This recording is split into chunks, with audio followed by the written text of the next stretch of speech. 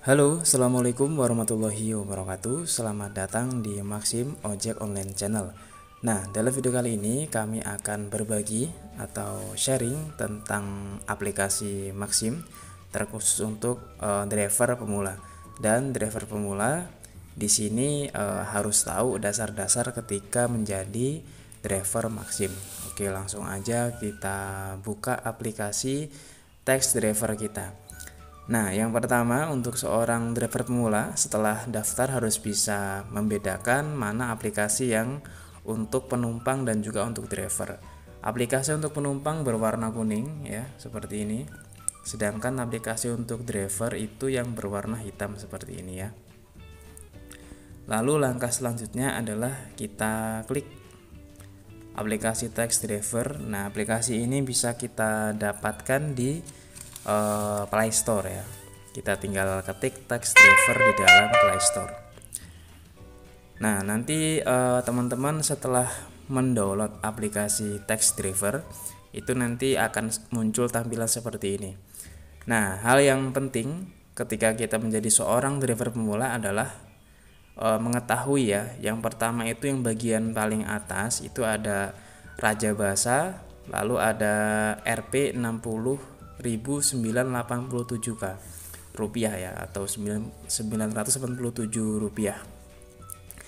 Nah, ini adalah jumlah saldo yang yang ada di uh, aplikasi kita dan ini harus diisi. Biasanya kalau kita lagi uh, sebagai driver pemula atau newbie itu saldonya kosong.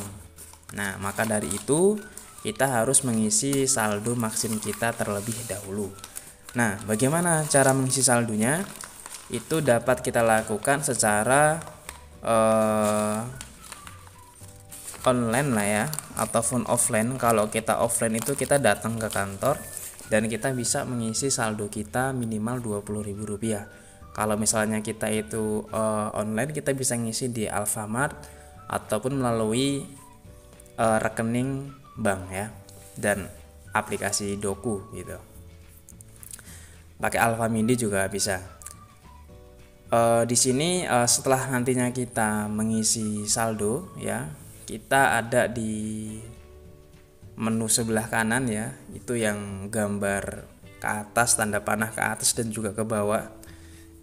Nah ini adalah untuk membalikkan ya ini kan ada order ya ada order yang paling atas setelah Raja Basa dan di sini ada daerah. Nah, gitu. Jadi kalau yang bagian tanda ke atas dan juga ke bawah tanda panah itu kita klik dia akan kebalik. Nah, jadi daerah yang di atas dan juga e, order yang di bawah. Cuman di sini kalau saya pribadi nyamannya de, e, daerah itu yang di bawah dan juga pesanan yang di atas atau yang order ya. Nah, lalu ada bagian auto. Nah, bagian auto ini adalah e, tombol untuk menerima orderan atau orderan akan masuk secara otomatis di aplikasi Maxim kita. Nah, ketika kita sudah mempunyai saldo dan e, tombol autonya kita aktifkan seperti itu. Nah, lalu yang kita yang ke bawah ya, ada order.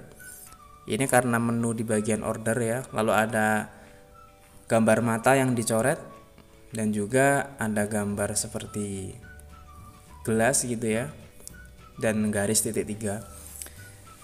Nah kita fokus pada yang daerah pada yang order paling dekat antar kota pinggiran kota baik cleaning delivery food and shop laundry tidak lengkap. Nah di sini teman-teman untuk driver pemula yang hal yang paling penting adalah untuk menerima orderan ya peluang yang paling besar kita dapatkan itu di orderan yang paling dekat. Nah, kenapa? Karena orderan yang paling dekat ini adalah orderan yang dekat dengan aplikasi kita. Nah, sehingganya kalau misalnya kita ingin mendapatkan orderan, peluangnya itu yang terbesar di orderan paling dekat ini. Gitu. Di sini ada orderan delivery, food and shop gitu ya. Nah, cuman kita nanti bisa meminta orderan, tapi yang paling berpeluang itu yang paling dekat. Maka di sini untuk mendapatkan orderan tersebut, teman-teman ya, itu kita bisa klik yang orderan paling dekatnya. Sebagai contoh seperti ini. paling dekat ya Nah, setelah kita klik paling dekat ternyata dia sudah sudah nggak ada ya, alias sudah diambil sama orderan lain. Yang jelas di sini ya dari Maxim kita bisa meminta orderan. Nah, tadi kan saya bilang untuk mendapatkan orderan yang paling berpeluang itu yang paling dekat. Ini sebagai contoh aja karena yang paling dekat tuh nggak ada, kita klik yang food and juga shop. Nah, ini ya di sini ada orderan di Alfamart dan juga Harum Manis. Ini kita klik saja. Nah, di sini uh, ada orderan ya. Nanti teman-teman ketika ada orderan seperti ini ya, di paling dekat itu kita bisa klik yang bagian minta order ya. Tapi untuk terkhusus orderan yang ada di bawah ini ya, ini jangan diambil karena orderan sepertinya adalah orderan yang eh, apa ya bisa dikatakan hoak lah ini bukan orderan beneran jadi kalau ada orderan beneran kita lagi pemula ada orderan seperti ini jangan di diambil ya. Karena orderan seperti ini adalah eh, apa ya ada indikasi penipuan. Maka kalau yang seperti ini jangan jangan kita ambil ya. Seperti itu. Itu penting untuk uh, driver-driver pemula. Ini kebetulan yang paling dekat ada. Nah ini yang paling berpotensi ya bagi kita untuk uh, kita ambil ya. Nanti teman-teman bisa klik yang di bagian uh, minta order ya. Sebagai contoh seperti ini kita klik minta order. Nah, nanti kita tinggal menunggu apakah orderan uh, kita ini diterima atau tidak seperti itu.